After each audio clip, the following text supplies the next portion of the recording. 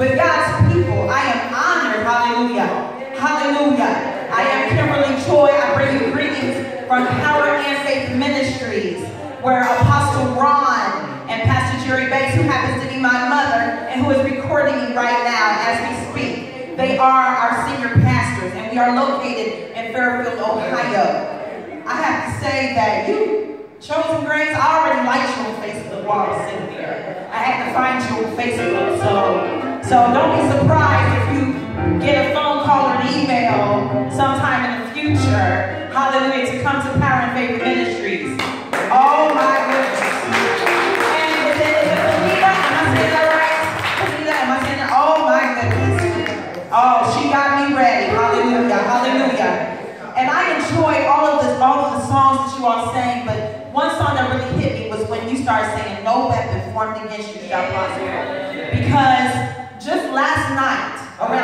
after 10 o'clock, I'm coming from Kroger's. I'm sitting at the red light, and all of a sudden I hear the screeching of someone's brakes, and someone slams into the back of my car.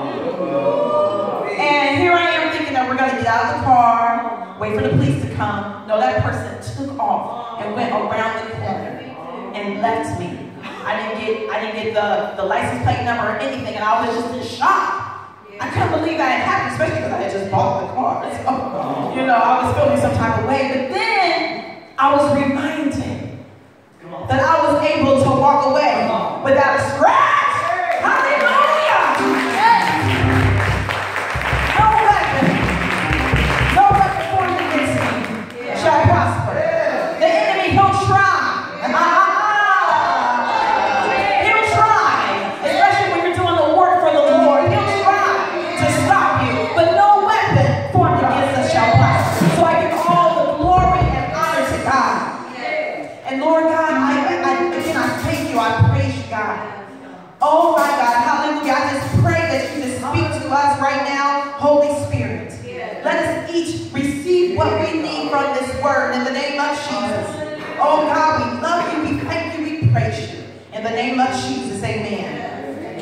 All right, moving right along.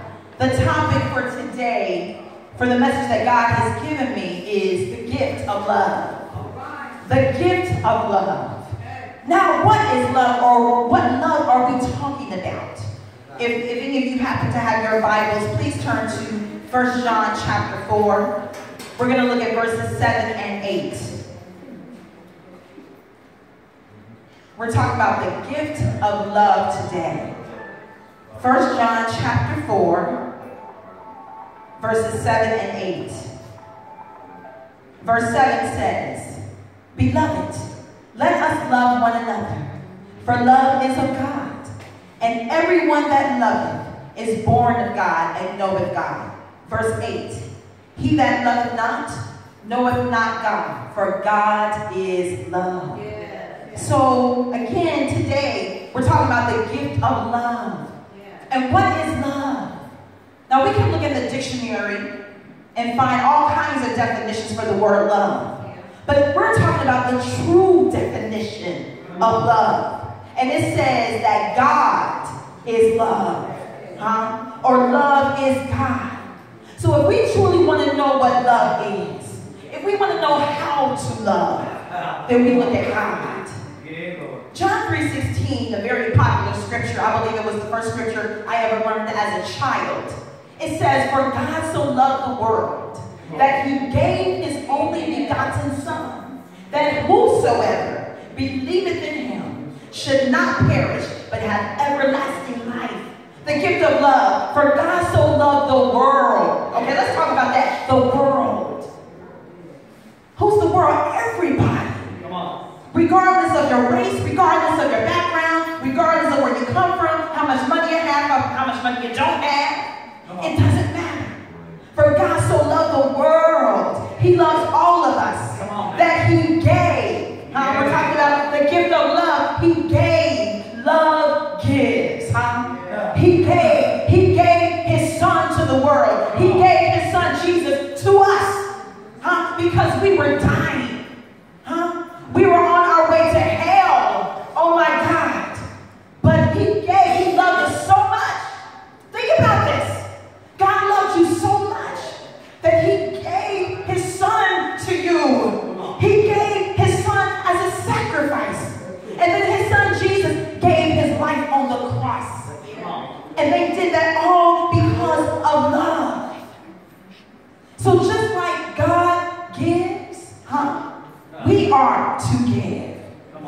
about the gift of love. Genesis 1 and 26 tells us that we were created in God's image and after his likeness. So that means that we are to be like God. No, we're not equal to God. And we're definitely not above God or higher than God. That would never happen.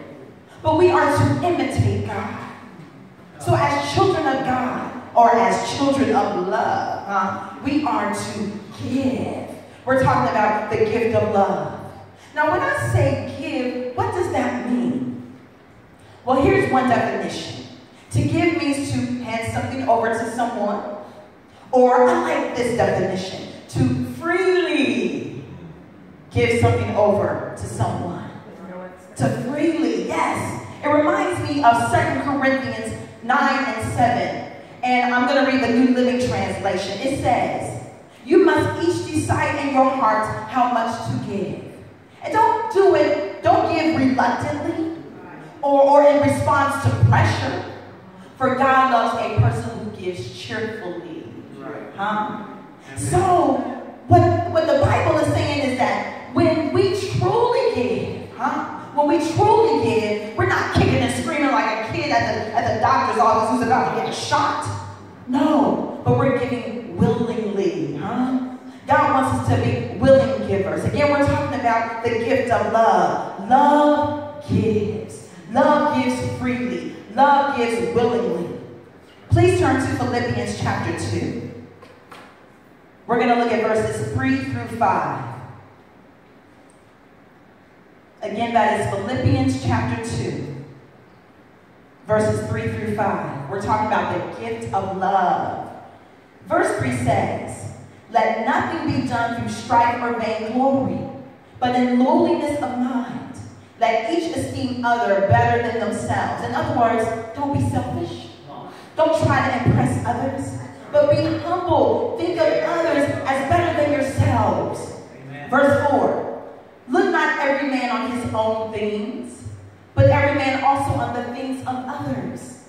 In other words, don't look out only for your own interests. You only worried about yourself but take an interest in others as well. And then verse 5. Let this mind be in you, which is also in Christ Jesus. So as we can see from these verses, we as children of God, as believers in Christ Jesus, we are to have the same mindset as Jesus. Now what does that mean that we have the same mindset, huh? Well, we are to love people, huh? As Jesus loved people.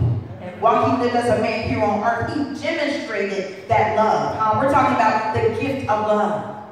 The stories of Jesus' life here on earth can be found in any of the four Gospels, Matthew, Mark, Luke, and John.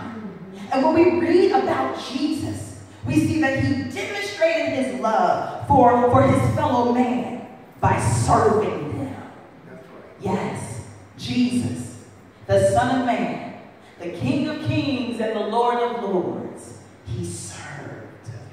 Serve, what does that mean?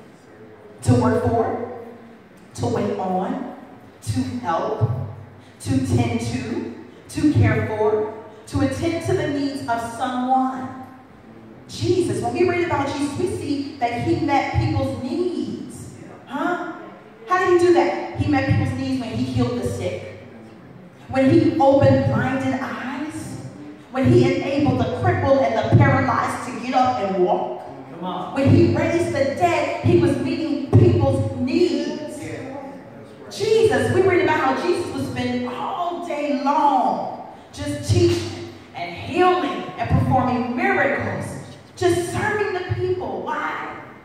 Because of love. We're talking about the gift of love. Now, another definition for serve, to minister. Yes to minister.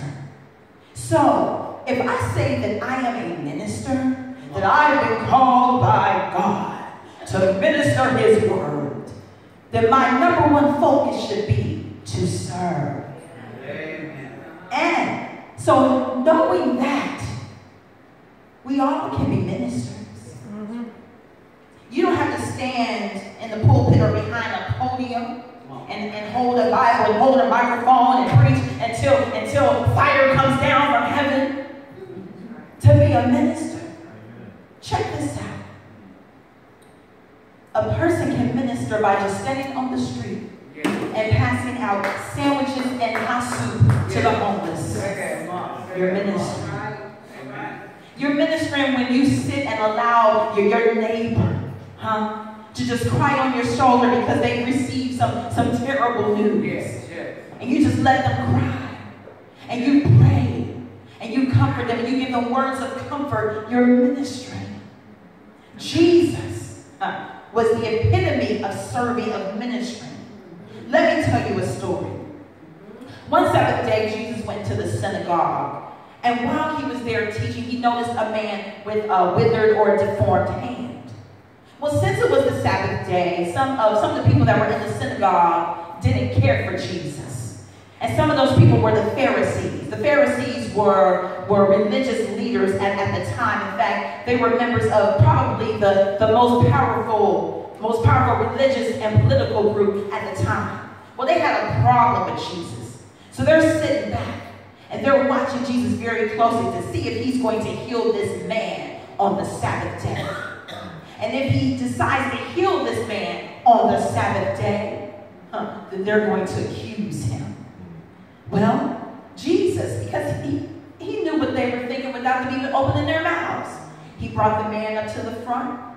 And then he looked at his critics and he said, So, what is the Sabbath day really for? Is it for helping people? Is it for good? Is it for evil? What really matters? What's really important on the Sabbath day? And do you know what his critics had to say?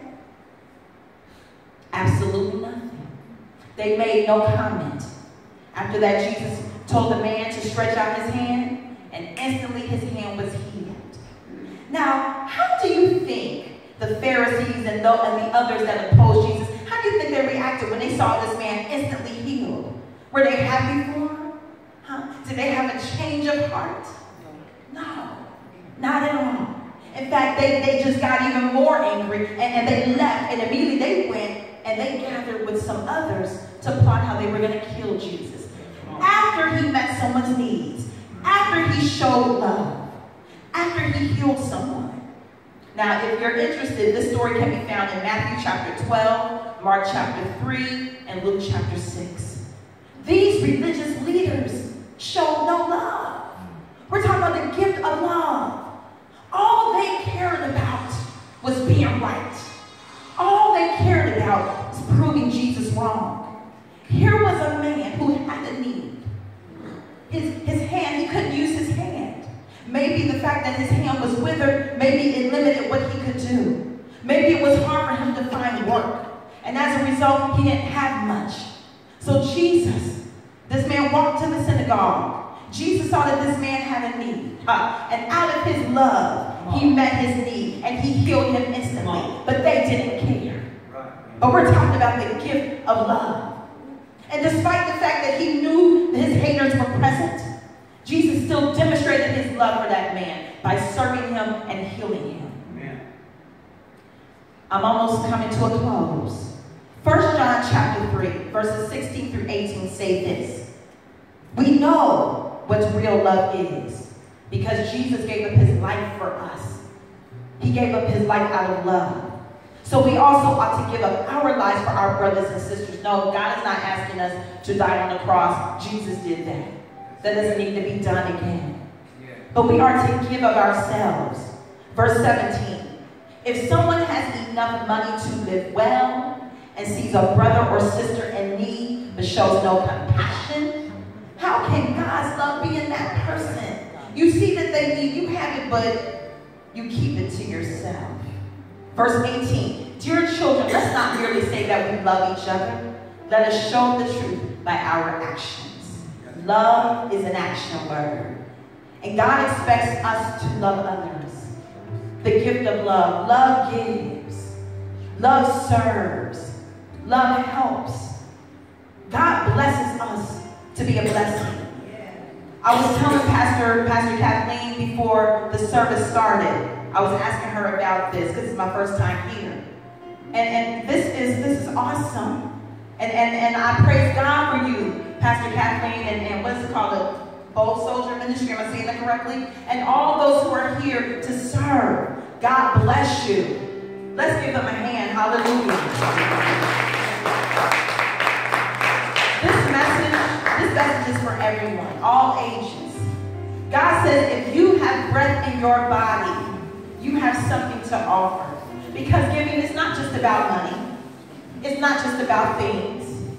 You can give your time. You can give a listening ear. You can give words of wisdom. And we have seniors here, right? You all have words of wisdom to offer us young, younger folks. Amen? Because you live life, you have experienced things. So, so we all have something to give. Even if it's just a prayer. Praying for your fellow man. Huh? Praying because you see someone is struggling. You may not be able to help them, but you can definitely send them a prayer on their behalf to God. Again, the gift of love.